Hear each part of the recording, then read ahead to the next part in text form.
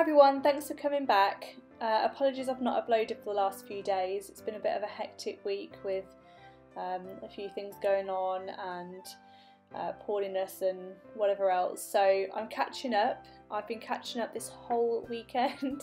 um, you'll notice that my jumper changes throughout about halfway through the video. Uh, this at the minute I'm doing was yesterday, Saturday and I was just catching up from that day that I spent at my sister's. Uh, we had the hot drink and the cake, and that was the voucher that I um, that I got sent. Um, I use the app, so I don't actually use the voucher, so I stuck it in and wrote a little note. Um, this one I'm going to come back to. I just wrote a pencil note there, so I remember what I need to put on that day. Uh, and I'm going to do this um, day 12, which was my son's nativity. And I did check this to make sure there was no sort of information on there about his school and for the children and things. So uh, originally I was going to stick it up here like a little top, a little flip up and I was going to put his image there but I had a better idea sort of halfway through.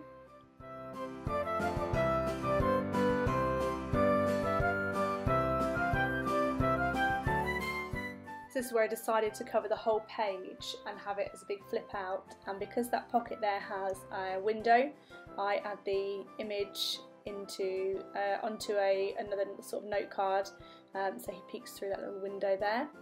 Uh, this is obviously going too quick for you to see but I'm using old paper distress ink uh, just to go around the edges. Oh my son brought us a chocolate off the tree. My sister was sitting opposite me and he brought us a chocolate off the tree so I'm going to have to use that in my journal and you'll see what I do with that a little bit later in the video. And of course I've got to eat it first.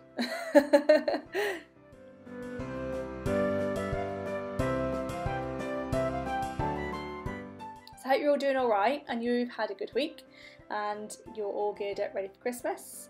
Um, I certainly am. I've managed to get everything done in anticipation for the kids now being off. Uh, my son's got two days left at school, my daughter's there till Friday. Uh, oh, you'll see here I've taken the numbers off. I've broken the number two, um, but it's fine. I'm going to add it back on and you can't tell the difference. Now it's on the page again. Um, I, in hindsight, I think next year I'll have the numbers already cut out. I do these on my Cricut machine. Um, I'll have the numbers cut out, but I probably won't stick them in because it can be a bit of a hindrance. Um, I think there's been a few occasions where I've taken the numbers off because I've wanted to use the full page, um, which is not a major issue, but it is a little bit annoying. It would be easier if obviously they weren't stuck down. So note for future self. and here they are, already stuck onto the thingy. I did have a bit of a palaver trying to stick this down at the Fabri-Tac. I'm literally at the bottom of my Fabri-Tac, so it can be a little bit of a pain getting it out of the tube. So I'm going to glue this on to that page and make a little flip out.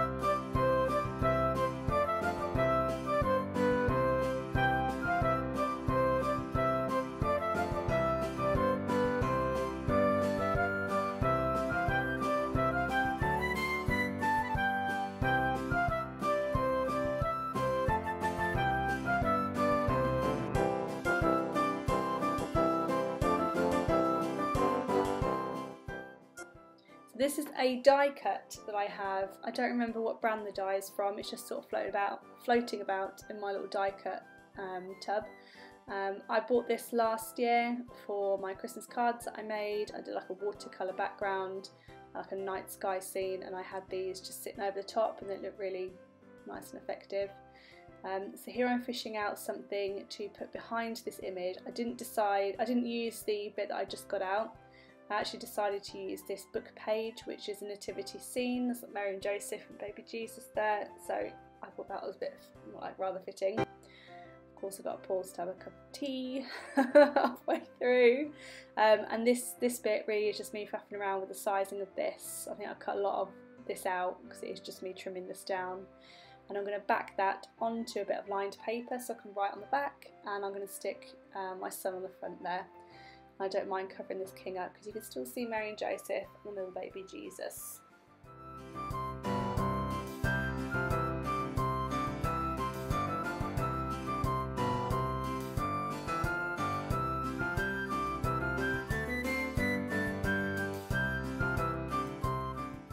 So I ran this through my sewing machine. You can see on the back here it's gone really bobbly and it just looks awful but Um, I've been making something the last few days as well. I've been making, I like to do a handmade gift uh, for the kids. And this year I've made movie night cushions. So I've just made cushion covers basically with some pockets in. Um, so of course my sewing machine was set to make those. I use like a um, sheep's fur, sheepskin um, fabric that I found in Hobbycraft to do my daughter. So I had to really mess around with the tension on the sewing machine. So clearly I didn't test it for paper before doing this but you know I don't, I don't really mind. So you can see my son just peeks through that little pocket there. And that tab at the top, I'm going to do the cushion. I'll write on that in a bit. You'll see me do that in a little while. Uh, I'm going to write on there about doing my cushions. This page I've adjusted again. Um, you can see a sort of circular. This disc here I took off because originally on the 13th we were going to have a movie night, me and the kids, um, but we didn't end up doing that and so I just kind of put in here about it being Christmas jumper day instead.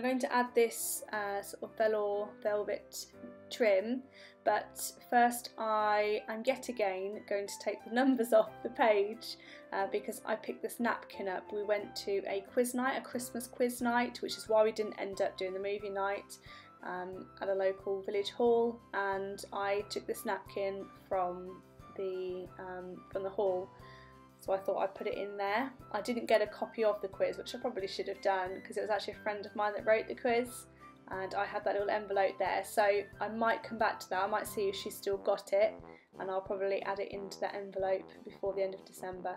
So I've just spread out some glue which is the red glue I call it and it is tacky glue um, and I've just spread it out and I'm going to stick the napkin on top and then add the numbers back in with that same glue. You can see here, especially on this number one, that I've not cut around it very well where it's taken some of the paper up.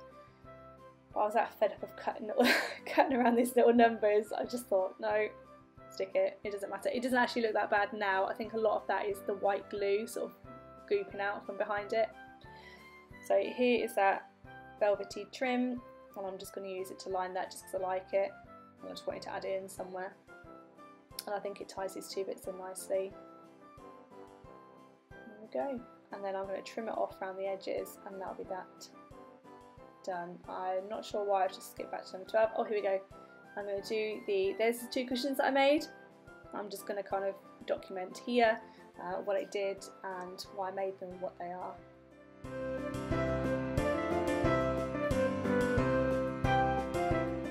So cue super fast writing. Um, I've just done my little spiel about the movie night cushions and I'm going to add some washi tape. I love adding washi tape to images just like this that can otherwise look a bit flat just to give them some dimension. It almost looks like the tape is holding the images on um, and it just makes them like, pop a little bit. Um, this is one of my little tricks I like to do.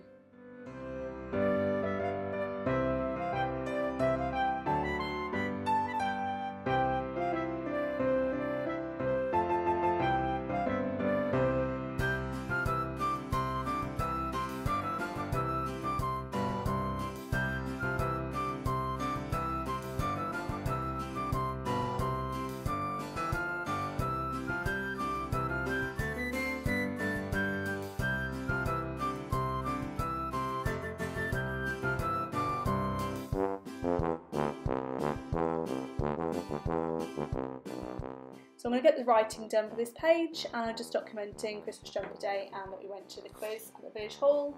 No, we didn't win the quiz, uh, we didn't come last, so that's okay. That's okay in my mind.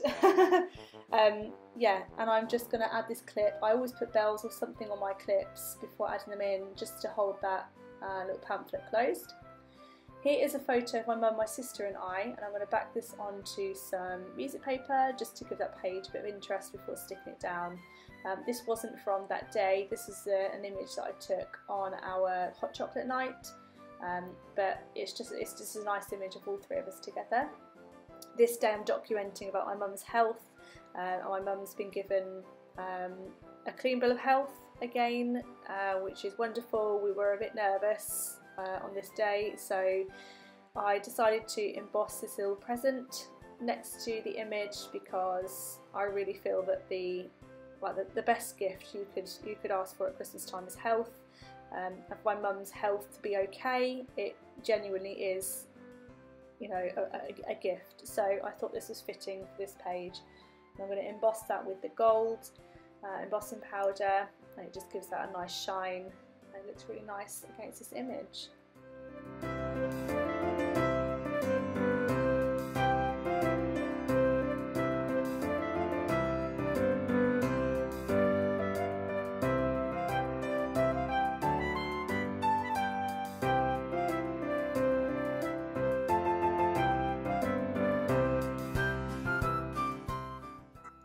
just had a little play around with that to get in the right position and I really like how that's turned out. And I'm just going to add a little bit of washi down the side just to make sure that edge doesn't come up when I'm turning the pages. I love that washi. I don't know what brand it is. I found it. It was in a random like dump bin at a, a, a craft shop nearby. Um, yeah, I, I just grabbed it because I loved it. I'm probably going to have to go and get some more before Christmas time is over. Um, as I said, the 11th was a very stressful day. I was at work that day, and when I got the news that mum's okay, I was very relieved and I had all sorts of emotions going on. So I literally sat on my work desk and I wrote this little piece um, about how I just felt at that time. So I'm just adding it into this sort of vellum pocket that I did previously. Um, this is one of the printables from Johanna and I printed it onto vellum, sewed it down the sides to make it into a little pocket and it just works nicely with this spread to put that little note in and I clip it on. I don't actually use that clip, I'm going to use another just normal gold clip with a bell on.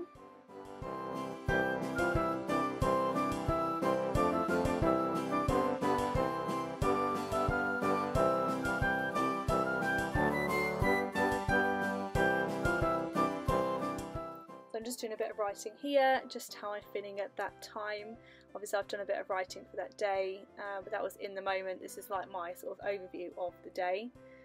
Um, and here is that little chocolate wrapper that my son bought in. I'm just following the um, sort of lines where the chocolate was inside the wrapper, just to cut it to size. And I'm going to stick it on just a bit of paper. I shouldn't have stuck it. I thought I'd use this little bit that was sticking off. I shouldn't have done that because you can actually see the line through the wrapper. I mean, it's not the end of the world, it's not that noticeable, but in hindsight, I shouldn't have stuck it there, but I did. Um, and I just wrote on the back um, just to say that Finn had bought this in while we were doing our junk journals, so we had a cheeky little chocolate off the tree, um, and then I'm going to washi tape it onto the back of that envelope.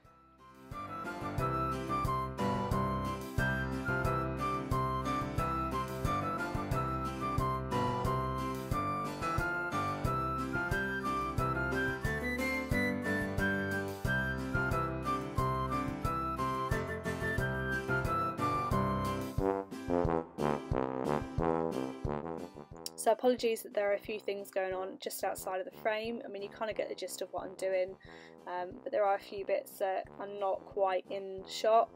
Um, and this is, it's just that delicate balance of having it close enough for you to see and far enough that you can um, see that the whole spread.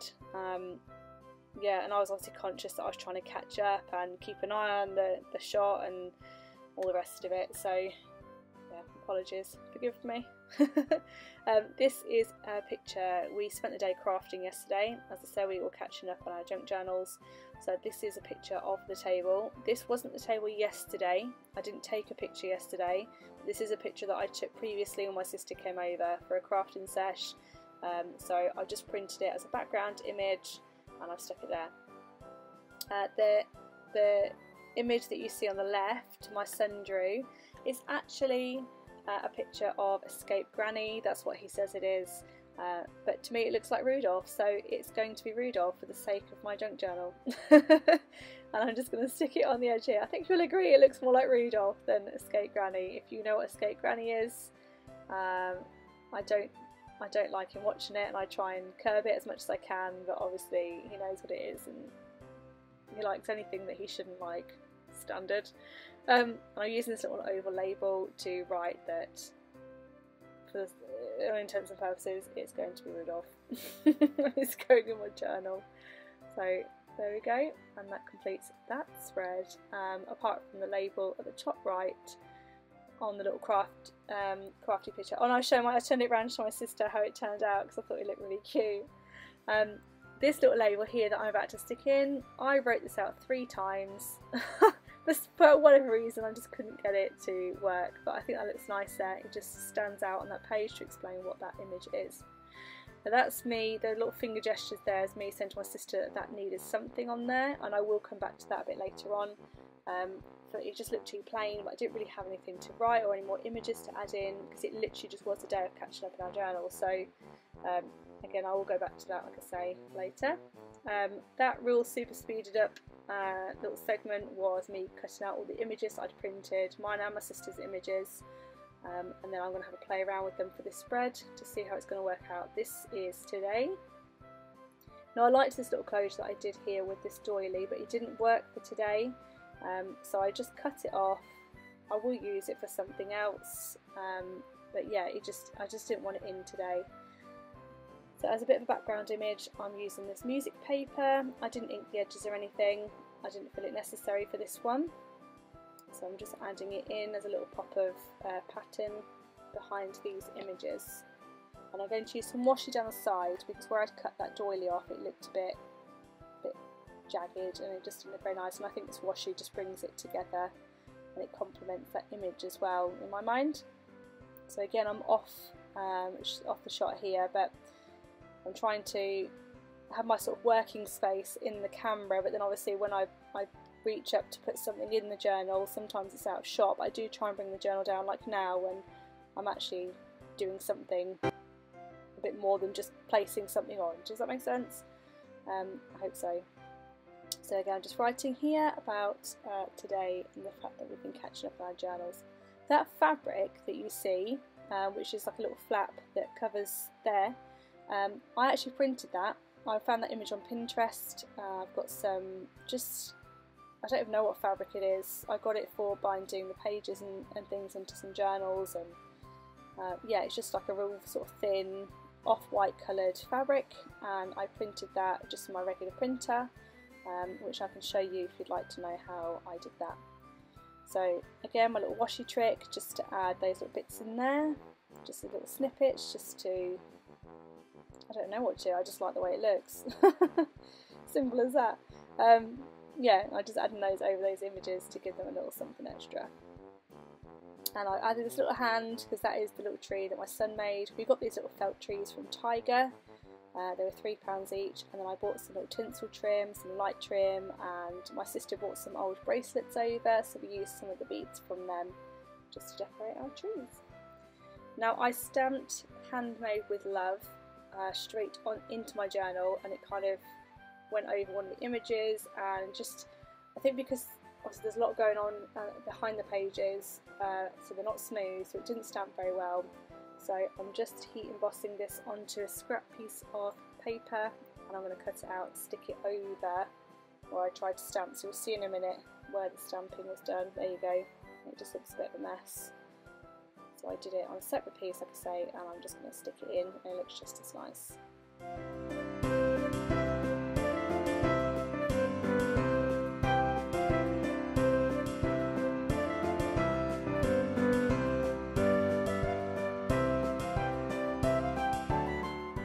So I'm just having a little flip through my pages uh, because I've been working over a few days. I'm just having a little flip through to see if I'm missing anything, if I want to add anything.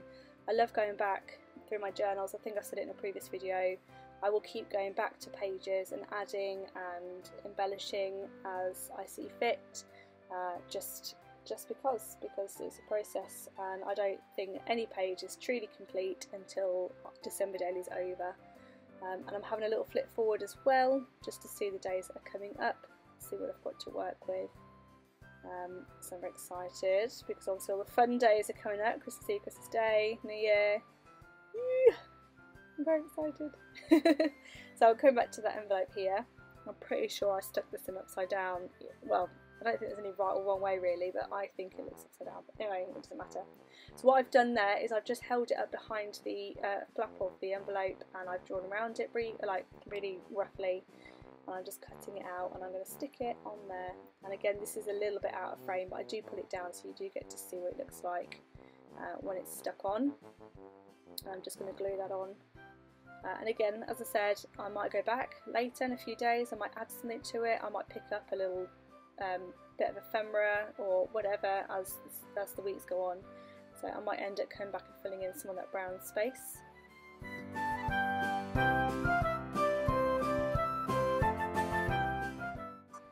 So here you see what that looks like and I really like the colour of this uh, in comparison to the other colours in the spread. I think it just works really nicely. Um, and again having a little flip through, through uh, to see what I need to do. So as I said before, this page has been annoying me for a little while. Did I say that? I don't know, I've done this voiceover several times. Um, this page has been annoying me for a little while. I added that little snippet at the top left, uh, but it was a bit, mm, it didn't quite do the job. I like the snippet and I will use it, but I didn't like it where it was. So I got this fabric for the other day when I was in town. I got it from John Lewis. Uh, they've reduced their Christmas fabrics, just so you know. Um, and I am going to use that as like a little tab because it's Christmas trees and I like to go a bit Christmas tree heavy on my Christmas tree spread. Um, and I've sewn it, I've run it through my machine with some red thread and a zigzag stitch and I'm going to add it, I'm going to glue it in at the top here in place of that little snippet and it looks much much better.